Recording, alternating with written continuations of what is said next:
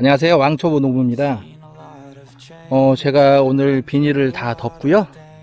일을 거의 끝냈는데, 제가 청매실을 지금 보여드리고 있거든요. 청매실이 올해 2년째입니다. 작년에 1년 된 애를 제가 가서 사서 식재를 했고요. 작년에 청매실이 많이 아팠습니다. 벌레나 이런 것 때문에 잎이 엄청 쭈글쭈글 했었는데요.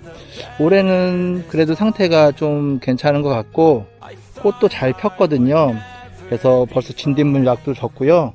좀 관심을 가지고 지금 지켜보고 있는데 보다 보니까 이렇게 청매실이 열렸습니다. 아직은 조그만데요. 제가 알기로 한 3년째 될 때부터 수확을 할 수 있을 것 같은데 2년째인데 이렇게 청매실이 조그맣게 아주 귀엽게 열렸는데요. 이게 청매실이 커질까요? 아니면 다 떨어질까요? 청매실도 하나 심고 홍매실도 심었는데 홍매실은 게 꽃이 많이 안 폈거든요.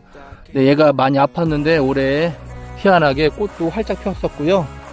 이렇게 지금 매실이 열렸습니다. 엄청 신기해하면서 지금 보고 있는데요. 과연 열릴까요? 물론 열리면 좋겠지만 생각에는 얘들이 좀 있으면 떨어질 것 같습니다. 대신 좀 잎이 튼튼하게 올해 좀 많이 자랐으면 좋겠고요. 작년에 많이 안 컸습니다. 요 크기하고 지금 보면 얘가 홍매실이거든요. 홍매실이 좀 많이 컸습니다. 더, 더 목대도 굵어지고요.